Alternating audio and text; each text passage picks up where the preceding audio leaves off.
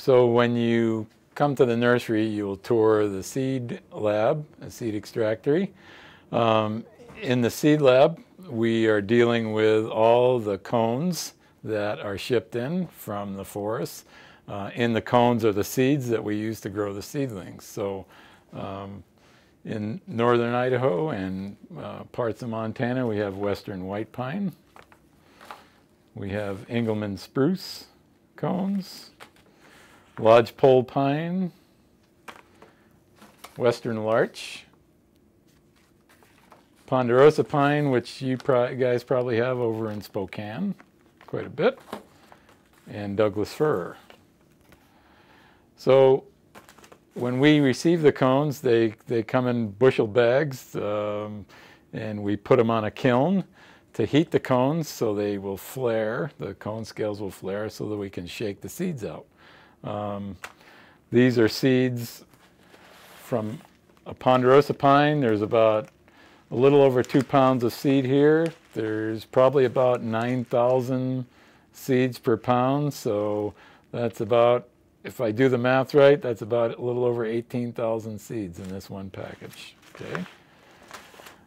So once we have the seeds extracted, then we test them. And the way we test them is we put them in a little mesh bag. Uh, we soak them and then put them in a, a refrigerator for 30 days.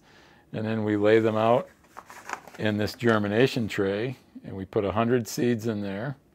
We place them in a seed germinator and every seven days we count how many seeds germinate. And the way that seeds germinate, you will see uh, on this side, the, the radicle or the root will come out and it'll start to push the seed up and we call that one successful germination. Okay, this is a, a display of uh, from start to uh, seed to seedling, uh, what the process looks like. Okay. Um, we also clean white bark pine. This is a high elevation pine. Um, it's a five needle pine and it's up around uh, over 6,000 feet up to about 10,000 feet in our region. Um, these are the seeds. They're really big. Uh, grizzly bears like to eat these. Um, and Clark's nutcracker uh, is a bird that eats these and actually spread these, um, plants them in the ground or caches them, and comes back to them later and eats them, kind of like squirrels. Um, because they forget where they put them all, um, seedlings develop from these and they're actually reforesting by doing this activity. Um, we also have a digital x-ray machine. It's kind of like the digital camera on your cell phone. We can take a picture of the seed and um, determine whether how how um, viable it is or how good it is. Um, a seed when it's when it's good, will show up pure white on the, um, on the x-ray. And you can see uh, the tissue surrounding the seed and the embryo down the center of the seed. And, and it's in a little cavity. And if that's filling that cavity, that seed is fully mature. Okay.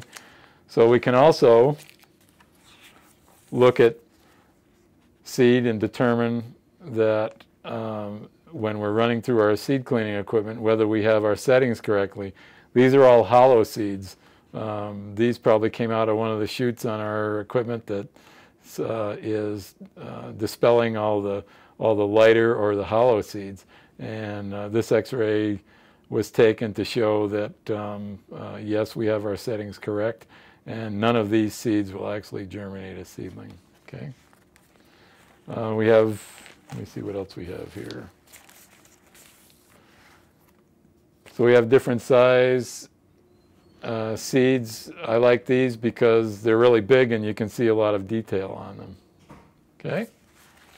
Um, finally, and I know everybody struggles with this every year uh, in the springtime, we collect pollen uh, from the field from selected trees in our uh, tree improvement program. And we use this pollen to uh, make controlled crosses with other uh, parents. We do that with a, a little squeeze bulb. We put a, a pollination bag over the uh, conelets uh, or the cone flowers, and the cone flowers look like miniature cones on the trees. And then we uh, seal that so no other pollen can pollinate that flower. And then we come in with a set pollen, and this is a, a, a hypodermic needle.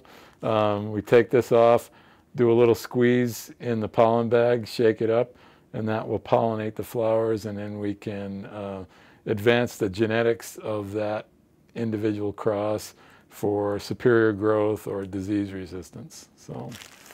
Um, some people are allergic to tree pollen. Um, if I dropped this, we would find out who was allergic to tree pollen. Um, there's quite a lot. There's about 160 grams of pollen in this right now. These are some of the other things you'll see at the nursery.